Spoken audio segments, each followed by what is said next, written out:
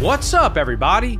My name is Demetri Kofinas, and you're listening to Hidden Forces, a podcast that inspires investors, entrepreneurs, and everyday citizens to challenge consensus narratives and to learn how to think critically about the systems of power shaping our world. My guest in this episode of Hidden Forces is someone I've gotten to know mainly by following his anonymous account on Twitter, where he goes by the name Shrubbery Capital, or Le Shrub for short. He consistently provides some of the most entertaining and clever market commentary you will find anywhere, so I couldn't resist the opportunity to have him on the podcast, especially given the fact that we were both located in the same city and were able to have this conversation in person. Le Shrub and I spend most of the first hour discussing his background, his investment philosophy, and his process for coming up with new trade ideas, as well as his experience shorting the housing market in 2008 as part of a famous team known for doing the big short. What he learned from that experience and how it applies to today's markets are also part of that conversation. The rest of the episode, including the second hour, is a deep dive into many of the topics that are top of mind right now for investors and policymakers alike. We discuss the divergence between bonds and equities, the bull and bear cases for commodities, the fate of emerging markets, the bull and bear cases for different European economies, China, gold, the US dollar, and of course, no conversation is complete today without a discussion about the investment implications of AI and, yes, aliens. This is a phenomenal conversation with a brilliant investor. If you want access to all of it and you're not already subscribed to Hidden Forces, you can join our premium feed and listen to the second hour of today's episode by going to hiddenforces.io slash subscribe. All of our content tiers give you access to our premium feed, which you can listen to on your mobile device using your favorite podcast app, just like you're listening to this episode right now. If you want to join in on the conversation and become a member of the Hidden Forces Genius community, which includes Q&A calls with guests, access to special research and analysis, in-person events, and dinners, you can also do that on our subscriber page. And if you still have questions, feel free to send an email to info at hiddenforces.io, and I or someone from our team will get right back to you. Lastly, because this conversation deals with investing, I want to make absolutely clear that nothing I say on this podcast can or should be viewed as financial advice. All opinions expressed by me and my guest are solely our own opinions and should not be relied upon as the basis for financial decisions. And with that, please enjoy this entertaining and expansive conversation with my guest, Shrubbery Capital's Le Shrub. Le Shrub, welcome to Hidden Forces. Thank you, Demetri. It's an honor to be here, and I'm really flattered for being invited, and I'm a bit nervous as well. It's so interesting. You look different in person. I I'm was not green. expecting more foliage. Yeah, I'm not. so, uh, I grew since I left my garden. yeah. So, uh, I want to give people a quick some context here because not everyone's on Twitter. You have a very popular, very playful, very funny Twitter account that has blown up in the last few years. And before we get into who you are and your background and you know your actual background, I want to at least take a moment to understand this side of you because it's the part that most people interact with. So tell me a little bit more about you and your online persona. Yeah, so I went on Twitter during COVID when I was uh, locked in a room uh, and not interacting with people physically, and I was trying to find a cool name. And I, you know, I'm a fan of Monty Python and the Holy Grail, and the knights who say "Ni" that they, you know, all they wanted was a shrubbery. So, and I, and I thought, well, you know, shrubbery sounds a lot like shrubbery is a good hedge. It makes for a good hedge. So a shrubbery is like a wordplay for a hedge fund. So I just uh, I went with Shrubbery Capital, and I really enjoyed that. And also there was like a more philosophical aspect to it. Like the Knights of Ni, they're quite powerful, but all they want is a shrubbery. so in a way, you know, we're fighting for all these things in life, but actually, you know, you're going to be really happy just having a shrubbery. so I went with that, and then the Shrubbery Capital became shorted to Le Shrub because it's.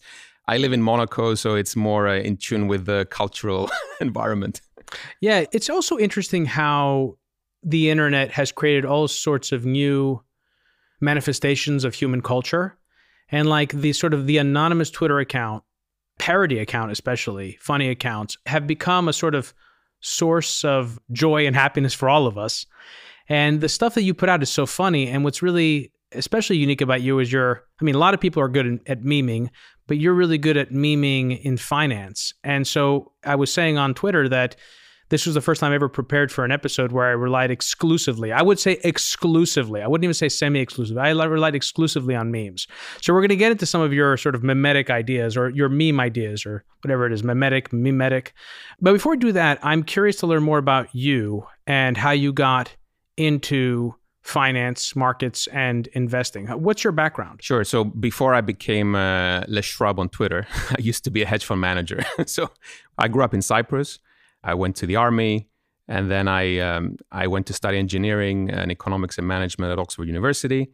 I paid my dues in investment banking at Lazard, and then I got a job working for one of the successful hedge funds of the 2008 crisis. It's one of the hedge funds that became um, very well known for the Big Short, and that's where I really learned to work on special situations and uh, you know I I basically honed my skills in uh, event-driven investing, but also thematic investing. I basically le- learned from nothing when I was there, and then I embarked in a career from there. I was a portfolio manager for uh, another uh, one or two hedge funds, and now I run a family office in Monaco where I cover pretty much every asset class.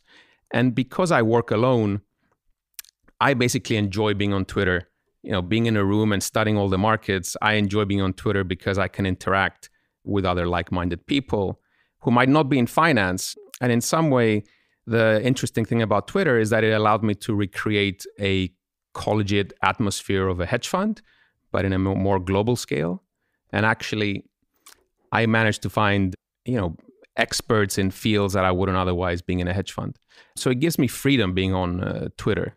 But yeah so so my background is basically 15 to 16 years in hedge funds. I made and lost money in pretty much every asset class, made all the mistakes.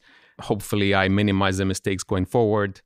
I still make them, but I just try to lose less money as I go along. So after you left the hedge fund you were at, and I don't know if you can tell us what it was, but after you left that hedge fund, did you is that when you started something on your own? And what led you to want to if that's what you did, because I'm not entirely sure, what led you to? I was working as a portfolio manager in a in another major event fund and a platform. When you transitioned, when I transitioned you... from the Big Short uh, fund, mm. yeah, I was like for another six seven years a portfolio manager, and now I run a family office. I'm the CIO of the family office, pretty much. So, what did you learn from that experience navigating the 2008 financial crisis? Absolutely. So, it was really the most exciting part of my career and it's also something very dangerous because a lot of us who lived through that we have a PTSD from the GFC. I was one of the lucky ones because we actually made a lot of money during during that period. But I was basically focused on special sits whereas the fund was short subprime. And there was a lot of lessons that we can carry forward from that till today. And one of the lessons is how to structure a trade that is bearish because there is part of this period that's reminiscent to 2006 7 the period that we're in today yeah so it's worth actually just going back to that because you know a lot of people on twitter in the markets they like to be bearish and it's like doom and gloom and everything is going to blow up and i just want to go through 2006 7 8 how we structured the trade hoping that people are going to learn how a really good trade is structured hmm. in the bearish way so the hedge fund i worked in was you know it's a very famous fund I would say the founder was a genius, is a genius. And we were an event driven fund and we were running a billion between eight people, 10 people. And the founder and uh, his right hand man, they were bearish on the subprime market. Going back how far? This is 2006. And how did they develop their thesis on that? You, is there a sort of rough? So, look, the thing is, and it's going to go to the structuring of the trade. So, there were a lot of people that were short subprime from earlier on they could see it. I mean, you know, the smartest guys put the trade on two years before it actually happened, and they blew up. So our guys, my ex boss, he figured out the trade in 2005, six, I would say, because it was obvious. You know, we were at, the, at a rate hiking cycle back then as well, like, like now. And uh, if you remember, yields on real estate were negative. Like the writing was on the wall. It wasn't anything I mean, you see the film afterwards. And they were adjustable rate mortgages then. Adjustable rate. I mean, you can see a lot of parallels. Like the UK market today, for example, mm. is a negative yield market. So another simple example. So the writing was on the wall, but you know the market was in uh, a euphoric moment, and everyone thought that subprime is contained. Great. So the way we structured the trade was we were an event driven fund. We were making 10% a year on average, on a good year, 20%. So we put an insurance policy that would cost us 1% a year for this subprime trade. And if it worked out, we would make a lot of money. If it didn't work out, we would lose 1%. That was the cost of the insurance. That was the cost of the insurance. So we put the trade on, and the trade lost money every month for one year while I was there. And then suddenly, that 10 bips that we were losing every month made like 1%. And then the next day, 1%. And the next day, 1%. And then it just blew through the roof. And then it just exploded. So, going back to lessons for your listeners and myself going forward, when you have a bearish stance, you want to structure your trade in a way that you don't blow up. The mistake that a lot of the people did in 2007 was going like, if there was Twitter back then, all these guys in 2004, 5, uh, 6, they would have all blown up uh, shorting subprime as well. Mm. because it'd be like all in short and they would blow up, which, uh, like I said, we had a lot of peers that didn't make it to see the trade work. And I, actually, Michael Burry, who's turned famous out of it, you know, he had a close call. So, you know, I'm sorry to Michael, a great guy, but, you know, he didn't structure it as smartly as they make it look like. Whereas, you know, credit to my boss that I'm eternally grateful for he risk managed his trade. And the genius part about what became known as the greatest trade in the world was that you would lose 1% to make X. You know, we actually made a lot more than we thought we would make. Mm.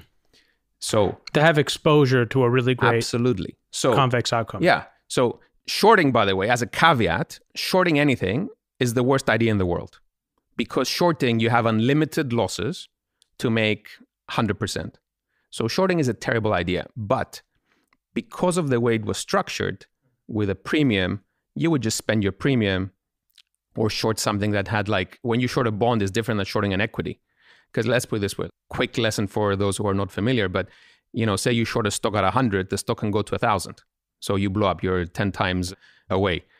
If you short a bond at 100, the most you can lose is 100 and the coupon that's on the bond plus the borrow cost. So say if the coupon is five, you lose five plus two, the borrow cost seven percent a year. So that's why shorting subprime was a very asymmetric trade because you you capped your loss and your upside was multiples. Hmm. So going back to the lessons of today versus the lessons back then is if you're bearish, and I try to make this point because I you know I try to address some of my tweets to help retail investors not blow up in some way. It's like it's very different shorting stocks when VIX is 18 and buying puts when VIX is 18. On one side, you can lose a lot of money. On the other side, you know what you're losing. So back to the subprime trade, we knew what we were losing. And at the same time, we were making a lot of money from our other trades. So my focus was actually initially making money on the event side. So the trades on the event side ended up making 15, 20% a year. Which more than covered the cost a, of uh, the you know, the whole team, not, not obviously. And it was covering the cost of the insurance.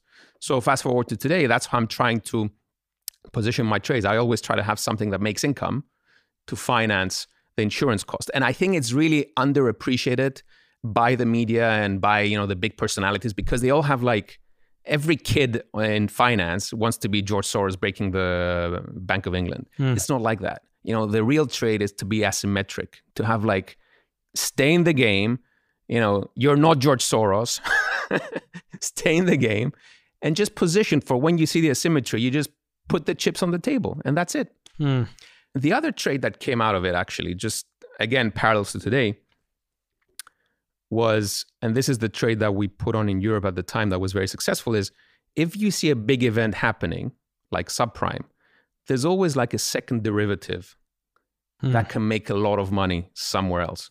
So bank equity. Yeah, bank equity. So what we ended up doing in Europe, because we actually tried to see how you could short European subprime and we couldn't do it. And then we realized, well, hold on, these European banks are full of subprime. So we ended up shorting a bunch of European banks and we made a killing out of them. So again, it's I mean, the best example of a special sits trade was RBS bought ABN AMRO at the time. And I was a merger arb guy. And, uh, you know, if you looked at the pro forma after they bought the bank, they had like 1% equity against the assets. And then you looked at the assets and you had like 100 billion of CMBS and RMBS and crap that was marked at 100. And if you marked it to market, well, the bank was had negative equity by three to five times or something, if I remember correctly. So these are the second derivative trades from a crisis. I mean, we saw this again this year with SVB. You know, the people were looking at bonds blowing up, but very few people saw that SVB had duration risk and blew up. I, I mean, I missed it as well because I actually hate investing in banks nowadays. So, I, I missed that trade completely. So, so that's that's the second part of uh, you know second lesson of the period that you can always have a second derivative trade that people will figure out down the line. Mm. It's also very interesting how the people you hear about are those who make some kind of public call, but it's really in the execution that the money is made because just the saying that you know that the mortgage market is going to blow up but not knowing how to structure the trade so that you don't get wiped out in the process of actually putting it on or trying to keep it on is actually what really matters in practice oh absolutely and also and there's always the uh, actually there's a third lesson out of this. There's always the guys that structure the first trade correctly. They get the euphoria from the first trade and they mess up the second trade. So like i said there was a cohort of our peers that blew up before subprime blew up. So they were short subprime and they blew up before subprime actually blew up. Well there was a second cohort that blew up by going long subprime before subprime recovered.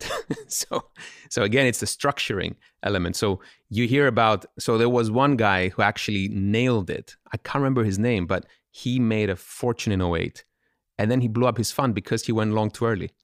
So again, because on the first trade he structured it correctly, he was like he capped his downside, but on the second trade he didn't cap well, his downside. That guy's very ambitious. Yeah. I mean, it's also interesting how, and this I was telling you this before. We've talked before about this that you know, I'm not a whatever term you want to use. I'm not a professional investor. I'm, I'm a professional other things, but this is not what I'm a professional at doing. But I speak to people who are, and my interest in this field came both from what I studied in college. I studied one of my degrees was in economics, and I just had had a fascination about markets. There was something about the behavioral element, the sort of complex, dynamic, nonlinear feedback system nature of the system that interested me. But as I've gotten older, I've you know had to develop some basic skill sets around it. And I speak to a lot of smart people, so I try to get lessons from them. And one of the things that I learned that was like one of the most important lessons I learned. It's such a simple one is that you can't think in terms of binary outcomes. You really have to think in terms of like likelihoods and also about in terms of risk management. Absolutely. This is I mean, as an event driven guy, I have to say that because I've spent more than a decade doing merger arbitrage as well. So it's mm. part of the special sits mandate is merger arbitrage. And merger arbitrage is a perfect example where you know you risk 10 to make 1 hmm. so you better get your probabilities right so the one the first lesson they teach you in, in merger arbitrage is you're better off investing in a deal where you can make where you risk 10 to make 1 that has 99% probability than to bet on a deal that has risk 1 to make 1 but it's 50-50 hmm. so again to your point it's always about probabilities and risk management and also not blowing up on a on a black swan. So because the black swan is always there. I mean, I have a lot of black swans if you hmm. want. So. Yeah, or gray swans. What does event driven investing look like in practice? Event driven investing is basically looking for catalysts. So there's a few aspects to it. So the purest form is merger arbitrage, where you bet on a deal closing or not closing, an announced deal. That's the purest form. Like for example, Elon buying Twitter. Elon buying Twitter. So and you know, that's a very good example because you have legal risk, you have crazy man risk, you have mm. a lot of risks around it. So you have to put probability on those risks and you have to see how much you're risking. And actually, Twitter was a very asymmetric risk reward. You, you were making a lot of money by betting on the outcome. And actually, merger arbitrage, it's a very interesting strategy because in the past, you could make 20% IRRs so in the 90s i would say it was 20% irrs by the 2000s when i started it was 15 12% then it was like 5 6% and then in covid it became 20 and then it became 5 again. And then it became 20 again. So it's a very cyclical space and because it's very crowded like if you when you hear hedge fund hotel mm-hmm. merger arbitrage is the absolute hedge fund hotel and that's why it's it's fun because now I'm an outsider, I have a more wide mandate. It's fun watching merger arb situations from the outside. And there's actually a lot of money to be made by just watch, staying on the outside and waiting for the hedge funds to tilt on one side and puke a situation out of it. Mm. And there's always something happening. Like COVID was a perfect example. Lately, there was uh, an antitrust situation. Well, actually, lately was the Activision Microsoft situation. So there's always something that makes it fun. But you know, for someone having done it for like uh, you know 15 years, it's also a very tiring one because you wake up and you read all the filings and you have to just stay on top of everything. So, mm-hmm. so I'm just happier to be diversified right now. so, so um, one of the things I've gotten to understand about you is that you have a lot of fun. You enjoy what you do. What is it about what you do that you find so enjoyable? I absolutely love what I do, and I think if you ask me what's my one of my strengths, it, it's actually that I enjoy my job and I enjoy. I even enjoy like uh, you know the shrub on Twitter and the combination of it. You know, I, I love learning. I love reading. I love knowledge. And the fun thing about our job is that you pick up a new situation and you just learn new things. It keeps you young in some way. Like you know, people see Buffett and Charlie Munger. I mean, yeah. there's, there's like a hundred year old guys, Charlie right? Munger's a hundred years old. Yeah, and you see these guys, and you're like, how can Buffett be so cheerful? It's like, yeah, because the guy is like, I think he's constantly learning. Like he's excited. You know, the guy is he invested in Occidental.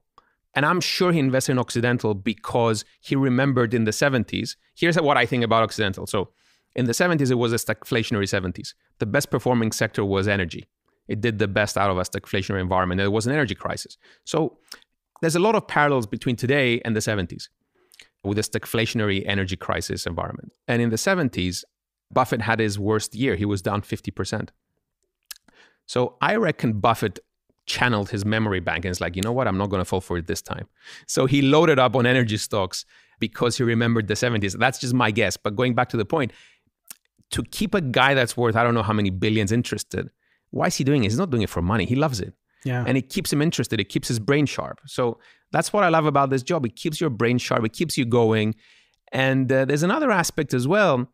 It's quite funny on Twitter. Sometimes people say, well, you're switching between topics. You know, the, oh, you switch from, like people on Twitter become experts on the uh, sure, of topic course. du jour. Yeah, yeah, so yeah. it's like the energy, the war in Ukraine, then it's COVID. So you you know you start by getting a PhD in uh, biology, and then you get a PhD in uh, chemistry, and then you get a PhD on uh, war, PhD in Ukraine.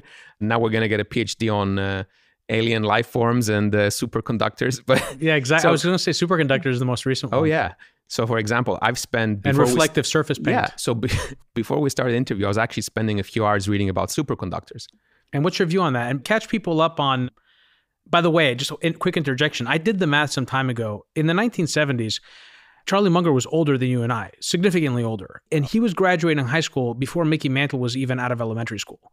That's how old the guy is. He's older than Mickey Mantle. So it's pretty amazing. But for our listeners, give the background here on this. And then I'm curious to hear what you have learned in the process of doing this deep dive. Because I discovered about this like last week. I'm assuming yeah. you came to. Came no, no, some, I, I, actually.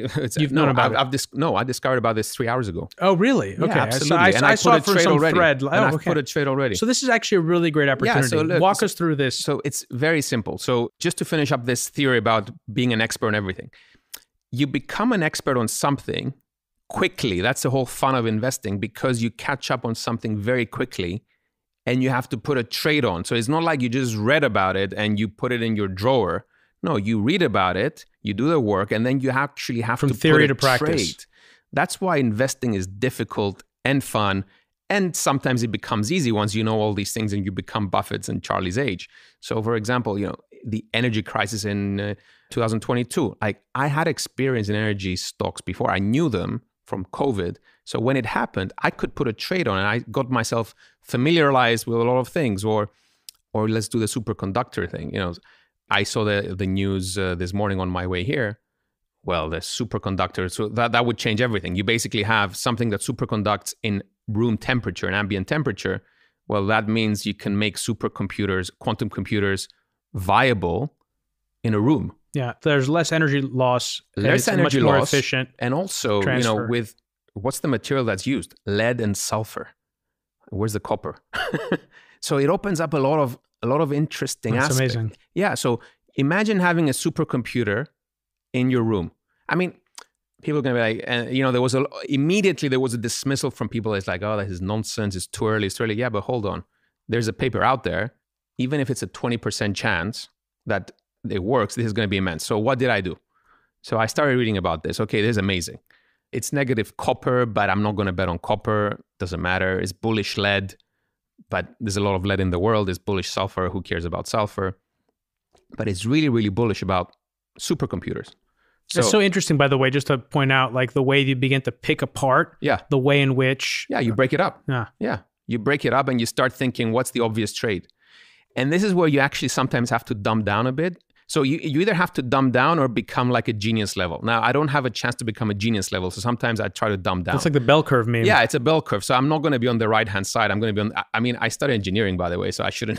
You should but, be on the right hand side. But still, I'm like, I'm like the worst engineer in the world. I mean, my wife does all the fixings in the house, so it's outsourced. But so I have this funny saying on Twitter you have to keep it kiss, keep it simple shrub. so, so you have to just keep it simple. Semiconductor, people are talking about it what's the obvious trade? Supercomputers. So you find out who's benefiting from supercomputer, you put a trade on. There's probably going to be momentum for X. It could be a momentum for one day, one month, one year, depending how it plays out. But you know, I actually have a trade on, and I'm just going to see how it plays out, and I'm going to educate myself. Right. So you're in the education along. phase, and yeah. the, you're putting the trade on as part of helping but you accomplish I have that. a trade on. So yeah, I have a trade on. I actually have a trade on right now that I will look to scale up or scale down depending on what I learn in the process. Why is that important to have a trade on when oh, you're when you're in the learning process? Skin in the game. Explain the mechanics of that. What is Absolutely. it about having skin in the game that it accelerates you, your learning? So I'm on holiday now. I'm on the beach every day. If I don't have skin in the game, I'm just going to stay on the beach every day. I'm going to run after the kids and have my iced coffee. So whereas if you have skin in the game, it forces you to sit down. I mean, because you get excited, but then you kind of put it in the back of your mind. So if you have skin in the game, it forces you to speed up your process because it's your money. I mean, it's my money on the line. I kind of respect my money, although I do allow myself to gamble a bit. but you know, you have skin in the game; it keeps you going. But also, the other thing that it stops you from doing, once you scale a trade, it stops you from having FOMO if the trade gets away from you. And that's actually a very important thing that I've learned in my time as an investor that if you buy a first position, so say I bought a 1% position in this quantum computer company. If it's up 50% the next day, I'm not going to cry because I made 50 bips. If it's you're not going to focus on how you wish you would put more into the trade. You're going to say that, of course, because it's human nature, but you actually have more money in your pocket. So that's pretty good. So that's the difference you're gonna say, "Oh my god, I wish you know, could mm-hmm. I, should I, would I put ten percent of my fund in this?" Like, but you wouldn't do it anyway. So, so you just say, you know what? I'm grateful, God. Thank you very much for the, as they say, for the tendies on Reddit. so, and then you can move on, and then you can actually, if you have some PNL, you actually feel more confident putting more money on the trade. But imagine if you don't have any skin in the game, and the trade runs away from you the next day. Well, you end up chasing, and you, and actually when I was younger, what I would do is I would see it go up the next day, and I like ah, I'm gonna wait the next day, and mm. then it mm-hmm. would just go up more, and ah, I'm gonna wait up the next day, and then you end up top ticking the. Yeah, it's amazing how that works. Oh, it's amazing, but it's Sod's law. Of course, it's gonna happen like that. I mean, it still happens, by the way. Sometimes I just see the stock is like, why did I buy this? it just keeps going. It's human nature. It's human nature, and this is part of our journey as investors, and that's you know that's why actually you know, I love listening to your stuff because it's a journey of the soul that's multifaceted. It's not like a one dimensional journey. It's about controlling your emotion, controlling your confidence. You had this uh, yeah, Peter Atwater. Peter Atwater. Yeah. Like confidence mm-hmm. is a major strength for an investor because you're entering the arena. It's like entering, like when the, I see it this way. If you want to see it like a bit more romantically, it's like when the bell rings and the market opens, it's like you're entering the gladiators arena and everyone in there wants to kill you. Hmm. So you got to enter the arena with confidence. And you know, you have to enter with confidence and a bit of humility as well because sometimes, you know, the guy that comes in with without humility is the guy who gets punched in the face. I mean, it happened to me many times. so investing is a journey of the self as well and it's a philosophical journey and actually being on Twitter and tweeting out, like I sometimes I t- live tweet my trades, and I'm quite careful that I don't mention, you know, small caps and things like that. But you know, I tweet my trades. It makes me more confident in some way mm. when I tweet a trade out. And the reason it makes me more confident on the trade is I have this funny thing. I imagine that an old lady is reading my tweet and she knows nothing about finance. And I'm like, mm. if the old lady reads my tweet and puts money in it and she loses money, I'm going to feel bad. So I better not tweet something stupid. Mm. so that's why mm. it makes me accountable when I put a trade out. And it gives me confidence as well to size up sometimes. Yeah, no, that I mean that's a really great way of looking at it. I think also, at least for me, and it's not so much for when it comes to putting out opinions about trades. That's not something that I do. But when it comes to all of my public communication, what I have found about being honest and transparent is that it helps you not to get lost.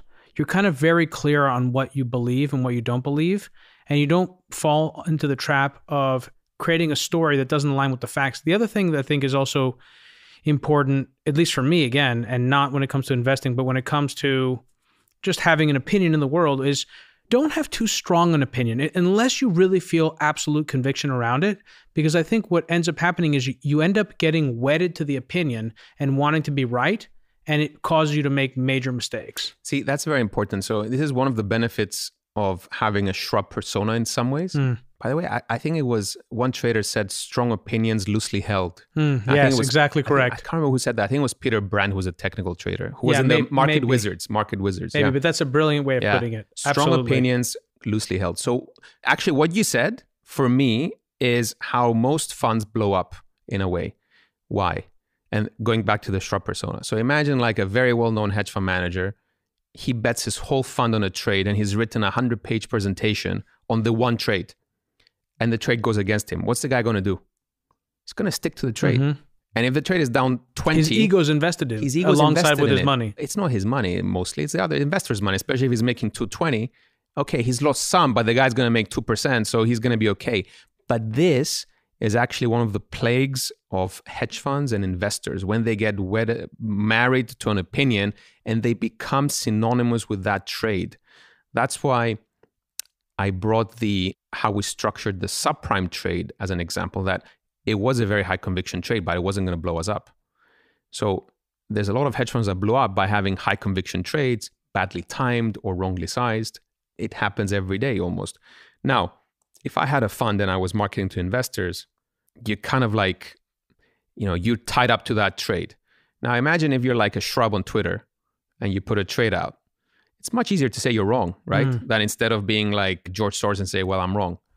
so, Is that how it feels for you?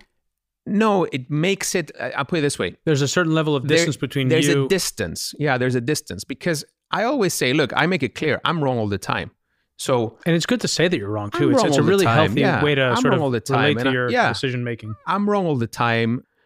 Like I have years when I'm really right, and I have years when I'm really wrong, and it's about losing less money when I'm on those years and not losing much when I'm wrong. It's it's as simple mm. as that. It's nothing more complicated than that. Making more from your winners and you lose from your losers, and not get it to your earlier point, I think this is the plague is getting married to an opinion. When you get married to an opinion without risk management, then I think you're done. I mean, you can make a lot of examples, you know, the tech bulls in 2022, the energy bulls in 2023. Mm. Like if you go to 100 podcasts and you bet your reputation on the direction of the market or the direction of oil, the direction of gold, and you're wrong, you kind of want to stick to it. I mean, there's people that have been bearish for 20 years, right? Yeah. so, I mean, those people, they can only, I don't know, sell a newsletter about gold, but they do it, right? so, it's very frustrating. I mean, again, like it's what's interesting in this conversation is where you come from and where I come from, but we spend so much time in the same circles, in the same places, right? You come to it as an investor. I come to it as, uh, I don't know what you want to call it, a content, a media entrepreneur, a content creator, a storyteller.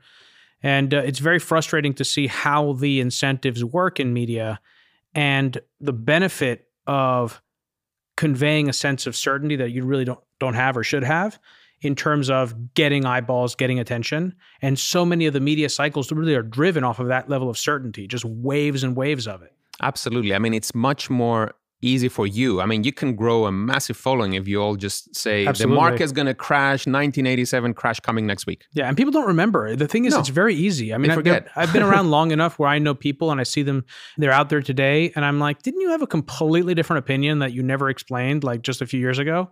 You know, and didn't you have a completely different, different opinion, you know, several years before that? And I've never heard you explain how you got to where you are. I've never understood the transition, you know? But so that, that's the thing that's also very interesting, which is we we we exist in this area where there's a whole sort of ecosystem of people that put out content about this thing, investing, and then there are a bunch of people that actually invest. And the sort of layman that walks in this marketplace would assume that these two people are the same, but they're not. You know, Absolutely. and part of the reason is it's very difficult to do one when you're doing the other for the reasons that we described. So to that point, I mean, you know, I, I've had the opportunity to interview a lot of people, and, and someone who, when I was um, when I was interviewing him, Howard Marks, I remember one of the things that struck me about him was his demeanor and his level of calm. And I had asked him, you know, what, and this is what I'm asking you, which is what are some of the qualities that make a good investor? Because you talked about working for someone who was a genius. You know, what was it about your former boss that made him a good investor? And where does temperament sit in all of that? Yeah, I think calmness is a very important quality. Calmness in a way that can be taught or in a way that really can't be taught? I think it has to be a character, but it can be improved. Hmm. To your, our previous point about Atwater and the stress center and knowing where Absolutely, you are. Absolutely. I mean, if people haven't listened to that, I really recommend people to listen to it because it really builds up on you as an investor, the you know, the confidence and the calmness. So my boss at the time, he was a very calm person. And if the market was down X, he really wouldn't flinch because he's seen it before, but he wouldn't flinch. And actually, the only th- this is the interesting part. If we were down a few percent a trade, or he never told me off on anything except once. The only time he told me off was when it was not on a losing trade. It was actually a very profitable trade. And he thought that I did a mistake in the accounting, calculating the shareholder equity of that bank. And then he was shouting at me. And then once he realized he was he did a mistake, he turned to the others and said, "Oh, you know what, Shrub, um, he did a great job with this trade, with the analysis, not with the trade, with the analysis Hmm. of this bank." So back to my point is, the guy was calm. This is the takeaway. The guy was calm about making or losing money, but what he cared about was that the analysis Hmm. was correct. That you were right for the right reasons. Yes, that's what he cared about. That's the takeaway of the story. You have to make sure your analysis is correct. He didn't care about the P&L. The P&L was insane, by the way. But he cared about the analysis. And that was the only time he shouted at me. And he never shouted at me about a losing trade. You know, I, I love that. And I've also taken that away from the smartest people I've ever interviewed, which is that it's you're okay to be wrong for the right reasons. And it's important to understand why you're wrong. Because if you don't understand, you can lose control. And right, because we're talking about something that's really dangerous. Absolutely. You know, it's like being a test pilot. You could blow up and that's it. Your career's over. Yeah, absolutely. That's the thing. That's why you need a high. There's one thing you need to have a high standard in is is your analysis. And I'm not talking about your analysis doesn't have to be perfect. It has to be because I'm an engineer by background. So it's not about being perfect. It's about being the right approach. Like I love using first principles. I always approach things from a first principle perspective. So your analysis has to be crystal clear and correct, not perfect, just correct approach. I mean, nowadays, I say that the perfect trade fits on a tweet now. That's how I would like to distill it down. Like the perfect trade fits on a tweet. And I have this joke in my Shrub uh, Twitter account that occasionally I tweet out ideas. It's called Shrub's Corner of the FT. So I would write trades on the corner of the FT. I would say a trade a great trade should fit in the corner of the FT weekend. So I would take the FT weekend and try and summarize a trade in the corner of the FT. And I've done it a few times and it was fun. And you know, usually is okay. Is that because it, it's a commentary on how clear you are on why you're putting on that trade? Yeah, it's because it's if it's so simple that it fits on the corner of the FT or in a tweet, Hmm. then everyone's going to get it. But it has to be something beyond like, oh, it's 10 times earnings or, Hmm. you know, so it has to be like something that may be overlooked or buried somewhere Hmm. or something that people are not paying attention to. I can give you an example of the past, you know, so of the past. So it was, I did Valaris, which is an offshore rig company. Hmm. So, you know, they have big rigs. It's a crappy industry. Everyone blew in this industry in the last 10 years. But these guys came out of a bankruptcy. They had a clean balance sheet. And each rig was getting like 200,000 a day. So these, these are like expensive stuff to rent. And I did the corner of T of the FT analysis that look, this thing is expensive now, 200,000 a day, but if you put it at 500,000, which is where it's going to go if the offshore rig market tightens, well, it's trading on 3 times EBITDA. Hmm. And you know, today the rig rates are 500,000. So again, it's a very simple sensitivity, but it focuses the mind on Mm. what's important. It's just a simple example. I love that. So we're going to move the rest of our conversation onto the premium feed shrub. But uh, before we do, we're recording this on Thursday, July 27th, I think. And actually, I should mention, if people haven't figured it out, we're in person. I think people did figure that out, but we're actually in person in my favorite studio in Athens, which is a, a converted cinema. And it's absolutely stunning. It's amazing. Being here. I'm loving it. Yeah. So um my question is before we move it to the premium feed, this is, you know, we got the Fed rate hike decision yesterday. As you know, we talk about this as well. I try not to spend too much time talking about the Fed because one of the realities is that when you're creating content, you have a need to create a certain amount of content and that ends up creating a situation where people talk about stuff that isn't actually newsworthy, but you just need something to be out there. And the Fed is a perfect example of that. Mhm. It's like a ritualistic thing. Every time the Fed has a rate decision, everyone starts of just talking about it. Everyone wants to say what's going to happen. And I also wonder to what degree it's even relevant, you know, what the Fed does. Yeah, But- look, let's refer to uh, this uh, very famous book, The Reminiscences of a Shrub Operator, written by written by the shrub. so it's, it's a joke that I tweet things out as if it's the experiences of a trader called Le Shrub who wrote a book called Reminiscences of a Shrub Operator. So, what is a Fed day? The Fed day is a day where put and call premium goes to die. Mm. and it's a commemoration where traders like to lose money in premium. So on Fed Day, I actually went for a very nice barbecue with my family on the beach. and I just read this morning the summary. I, you know, I used to listen to the guys, but you know, I, again, I as a joke, I said, "What is Central Bank Week?" Is basically it's a commemoration where central banks come together, and whoever, you know, the winner is the one who lies the most convincingly, and the market believes them. so, yeah, it's relevant, but is it really? I mean, the guy came out yesterday being hawkish, saying we're gonna inflation is gonna come down to two percent by 2025 which Hmm. is really hawkish actually. Hmm. And we're not going to cut rates this year, which is again hawkish. And he said a five hawkish things, but the market's up. Why? Well, because of what I said earlier. Everyone bought puts for the event. There's so much positioning in these things that sometimes you just want to wait for them to clear out. And I'm guilty of it many times. I sit down and I play these events and I watch the guys, you know, I think, oh, there's going to be a hawkish Fed. It's like, yeah, there is a hawkish Fed, but the market's up. Why?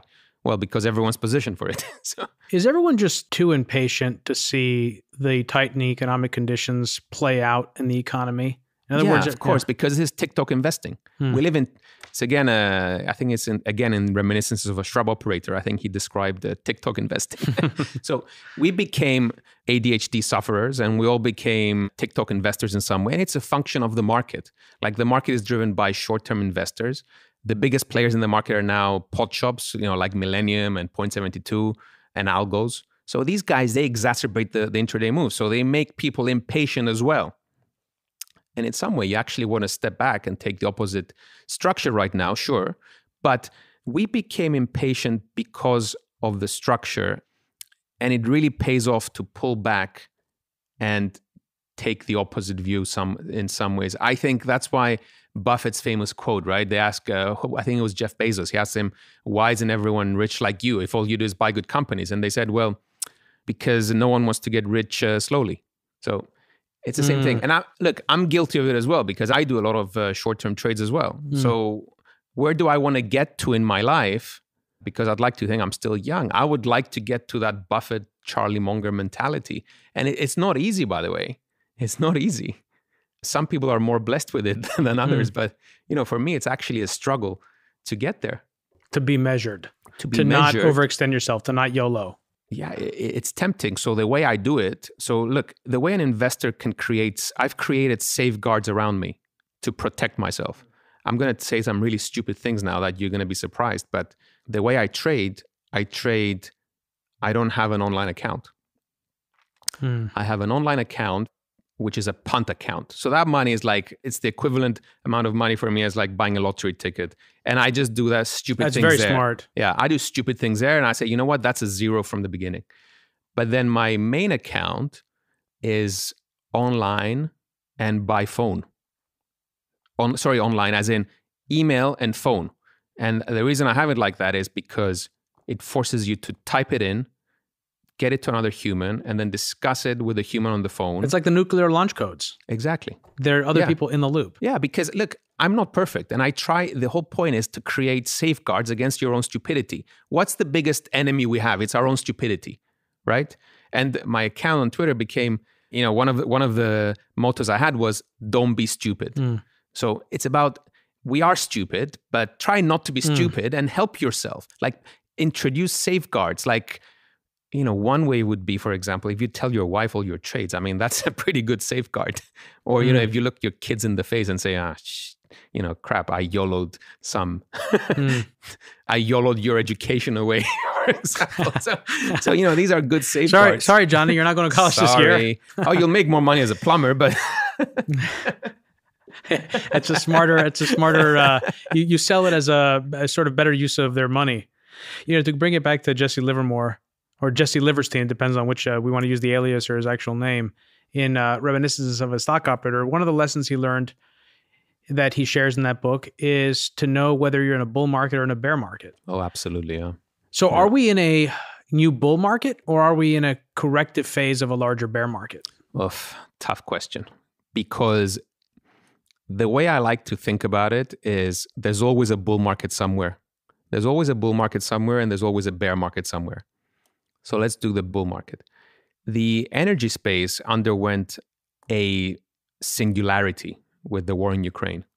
So you could argue that created, that triggered a new bull market in energy.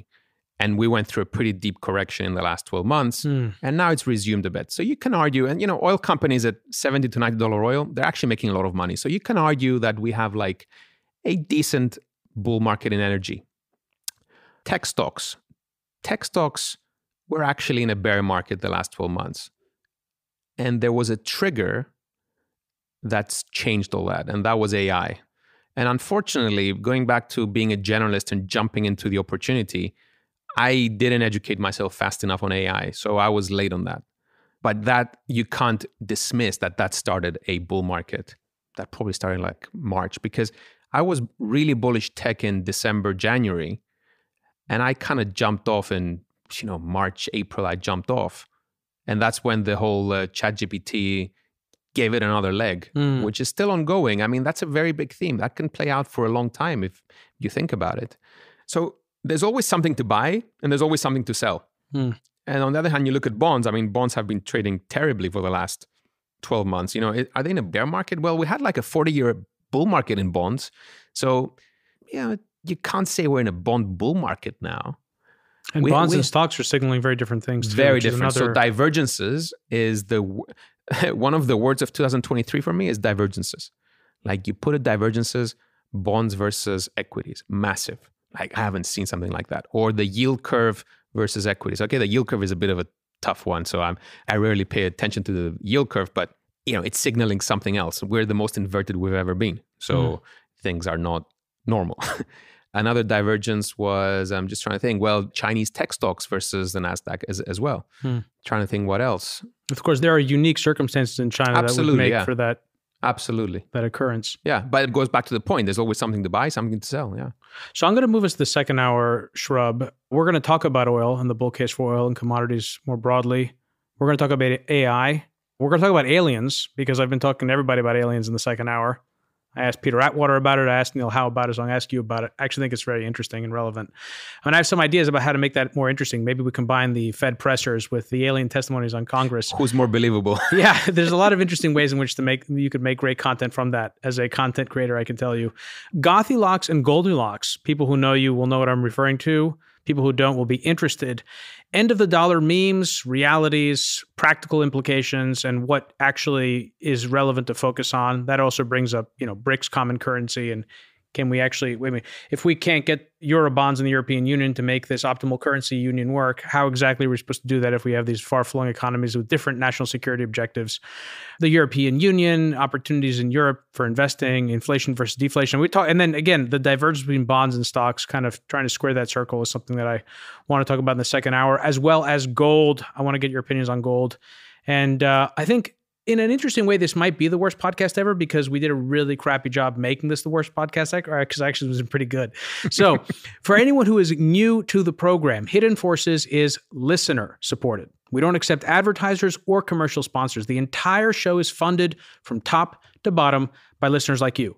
If you want access to the second hour of today's conversation with Le Shrub, head over to hiddenforces.io slash subscribe and sign up to one of our three content tiers all subscribers gain access to our premium feed, which you can use to listen to the rest of today's conversation on your mobile device using your favorite podcast app, just like you're listening to this episode right now. Shrub, stick around. We're going to move the uh, second hour of our conversation onto the premium feed. If you want to listen in on the rest of today's conversation, head over to hiddenforces.io slash subscribe and join our premium feed. If you want to join in on the conversation and become a member of the Hidden Forces Genius community, you can also do that through our subscriber page.